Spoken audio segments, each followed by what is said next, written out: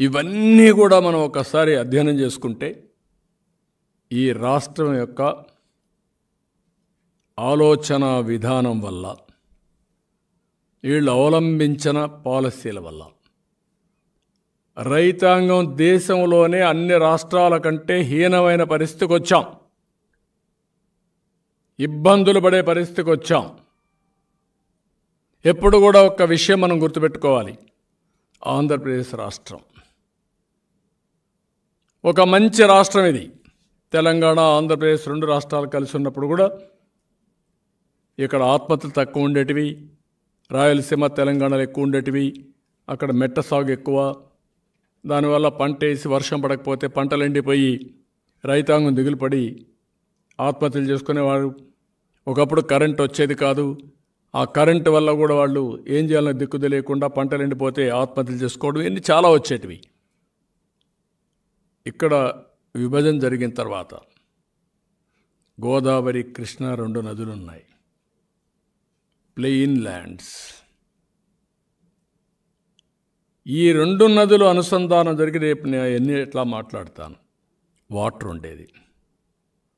రెండోది బంగారు పండించే భూములు ఉన్నాయి ఇక్కడ.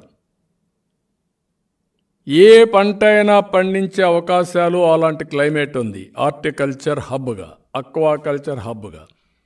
వాణిజ్య పంటలు పండించే అనువలు అనుకూలమైన భూమి అనుకూలమైన ప్రాంతం. అదే మరి ప్రోయాక్టివ్ ఫార్మర్ ఉన్నాడు.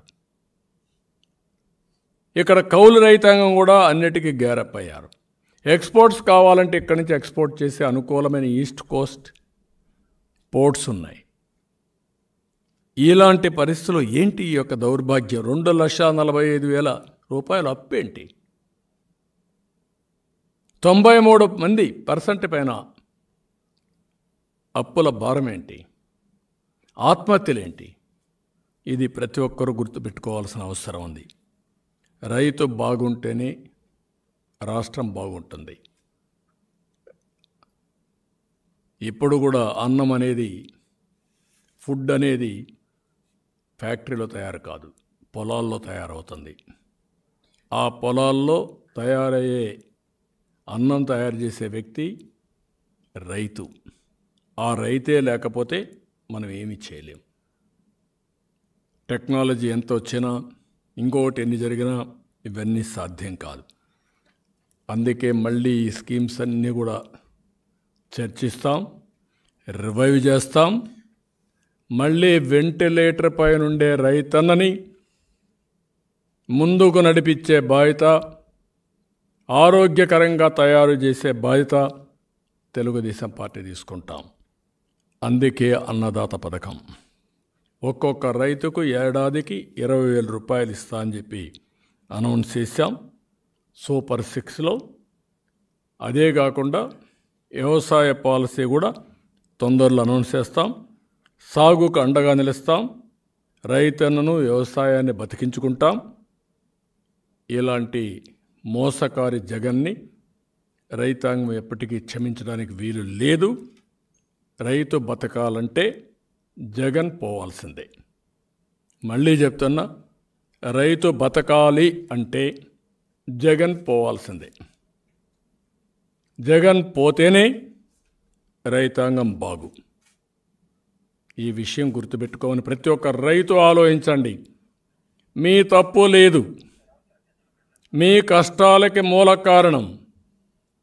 మీ భవిష్యత్తుని అంధకారం చేసిన పార్టీ వైఎస్ఆర్ కాంగ్రెస్ పార్టీ. నేను ఈరోజు స్పష్టంగా ఇవన్నీ చెప్పాను. నన్ను తిట్టడం కాదు. మీరు ఒక వైట్ పేపర్ ద్వారా మీ వాస్తవాలు చెప్పండి. నేను నిరూపిస్తాను. దీంట్లో ఏం తప్పులున్నాయో మాట్లాడుకుందాం ఒకవేళ కానీ మీరు నిరూపించలేకపోతే మీరు ముందుకు రాకపోతే మీరు పరిపాలించడానికి అర్హత లేదు. ఈ విషయం మీరు గుర్తుపెట్టుకోండి. నేను పోరాడేది నా పోరాటం వ్యక్తుల కోసం కాదు అధికారం కోసం కాదు. ఐదు కోట్ల ఆంధ్ర జాతి కోసరం. ఈరోజు నేను మాట్లాడింది రాష్ట్ర రైతాంగం కోసరం. జనాభాలో డెబ్బై పర్సెంట్ రైతులు రైతు కూలీలే ఉన్నారు. ప్రధాన ఉపాధి కూడా రైతు రైతు కూలీలకి వ్యవసాయం పైనే వస్తుంది. దానిపైన నేను మాట్లాడుతున్నా. థ్యాంక్ యూ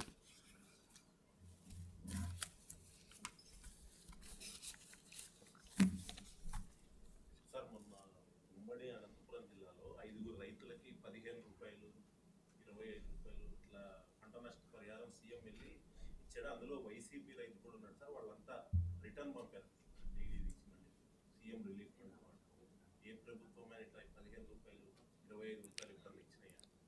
అందుకే నేను అన్నాను ఇది అవమానించడం ఎక్కిరించడం. మనిషిని బాగా కొట్టి దెబ్బల్లో ఉంటే పుండు మీద కారం పోసినట్టు మళ్ళా కారం వేసి మనో వీనికి ఆనందం పైశాచిక ఆనందం. రైతు ఆ పరిస్థితిలో ఉంటే పదహైదు రూపాయలు ఇచ్చి ఇది ఎంగిలి మెతుకులేసి ఇది తినండి మీరు అయిపోతుంది బ్రతుకు బాగుపడిపోతుందంటే ఏమనాలి ముఖ్యమంత్రిని? ఒకసారి నేను ఇదే మారిగా అనంతపూర్కి వెళ్తే ఇన్సూరెన్స్ క్లెయిమ్ చేస్తూ ఉంటే ఇన్పుట్ సబ్సిడీ ఇవ్వడానికి వీలు లేదన్నారు మా అధికారులు. ఇన్పుట్ సబ్సిడీ నేనే పెట్టా. అనంతపూర్ రైతాంగం సమస్య చూస్తే పదేళ్ళలో ఆరేడు సంవత్సరాలు కరువు ఒకటి రెండు సంవత్సరాలే పంట వచ్చేది. అది చూసిన తర్వాత కనీసం ఇన్పుట్ సబ్సిడీ పెట్టి పెట్టుబడైన గ్యారంటీ ఇవ్వాలని ఇన్పుట్ సబ్సిడీ తీసుకొచ్చాను నేను. ఒకప్పుడు అనంతపురం జిల్లాలో మీరు చూస్తే రాష్ట్రంలో కూడా ఉన్నాయి అనంతపురం జిల్లాలో ఎక్కువ ఉండేటివి. మహబూబ్నగర్లో పెట్టాం. ఏవైతే పశువుల కోసం కొన్ని క్యాంపులు పెట్టాం. తొంభై ఆరు తొంభై ఏడులో నీళ్ళు లేవు పంట లేదు ఇది కూడా లేదు. ఫాడర్ లేదు. అప్పుడు ఇక్కడి నుంచి ట్రైన్స్లో ఇక్కడి నుంచి పెట్టి ఎండుగడ్డి ఇవన్నీ తీసుకుపోయి క్యాంపులు పెట్టాం. తాలూకాకు ఒకటి రెవెన్యూ డివిజన్ ఒకటి పెట్టి అక్కడ తీసుకొచ్చి వదిలిపెడితే రెండు నెలలు మూడు నెలలు అక్కడ మేపి మళ్ళీ ఇంటికి పంపించాం. అలాంటి జిల్లాలో ఇది వస్తే నేను ఒకటే చెప్పాను. ఇంత కరువు జిల్లా ఇది ఎడారిగా మారిపోయే పరిస్థితి వస్తూ ఉంది. ఈ జిల్లాను ఆదుకోవాలి అనే ఉద్దేశంతో నేను ఆ రోజు ఇన్పుట్ సబ్సిడీ ప్లస్ ఇన్సూరెన్స్ రెండు కూడా ఇమ్మన్నా.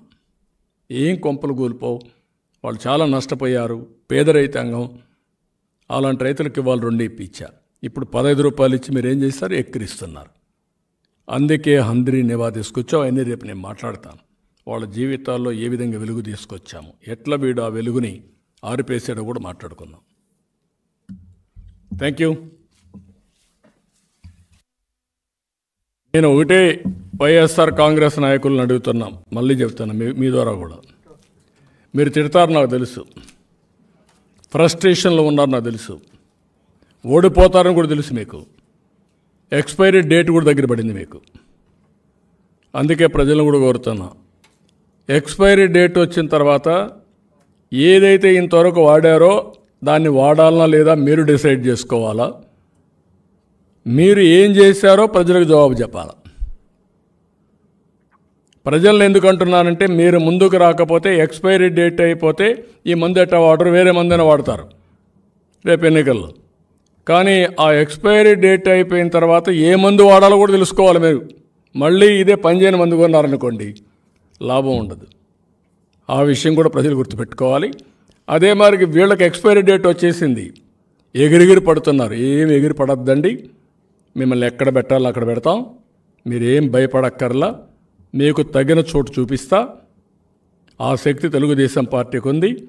కేసులు పెడితే భయపడతారనో రౌడీజం చేస్తే భయపడతారనో ఓట్లు మ్యానిపులేట్ చేస్తామనుకునో మీ ఇష్ట ప్రకారం చేసి దొంగ ఓట్లు చేసే ప్రతి ఒక్కరికి చెప్తున్నా కబద్దార్ జాగ్రత్తగా ఉండండి అన్నీ కంట్రోల్ చేస్తాం.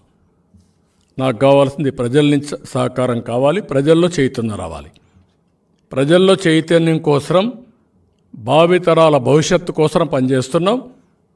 అభివృద్ధి చేసిన పార్టీ సంక్షేమం ఇచ్చిన పార్టీ రాష్ట్రాన్ని అగ్రస్థానంలో పెట్టిన పార్టీ తెలుగు జాతిని జాతిని ప్రపంచంలో శక్తివంతమైన జాతిగా తయారు చేసిన పార్టీ తెలుగుదేశం పార్టీ. ఇది ఆలోచించమంటున్నా అందుకే ఈ రోజు నుంచి నేను మాట్లాడే ప్రతి ఒక్క మాట ప్రజలు గుర్తుపెట్టుకోవాలి. ప్రజల కోసం నేను మాట్లాడుతున్నా. ప్రజా చైతన్యం కోసం నేను మాట్లాడుతున్నా. ఆ విషయం వాళ్ళు కూడా ఆలోచించుకోవాలి. నేను చెప్పేది వాస్తవం ఉందా లేదా ప్రతి ఒక్క వ్యక్తి ప్రతిరోజు ఆలోచించండి.